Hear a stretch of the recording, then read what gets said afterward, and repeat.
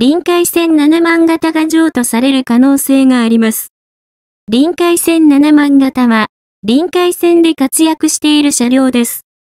重量編成で活躍しており、老朽化も進んでおり、置き換えが決定しました。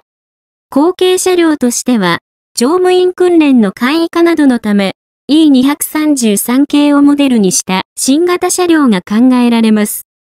また、7万型は譲渡されることが考えられます。候補としては、西武鉄道、伊豆急行、などが考えられます。伊豆急行の場合は、通常6両編成での運転のため、10両編成の7万型が車両改造が必要です。このため、他の鉄道へ譲渡されるか廃車となるかです。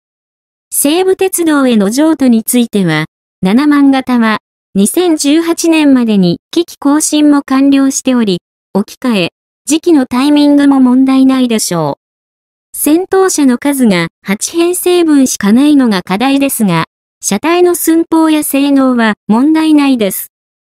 そのため、西武玉川線や玉子線などの支線には投入できますが、サステナ車両として、東急9000系、小田急8000型が投入されることになったので実現しません。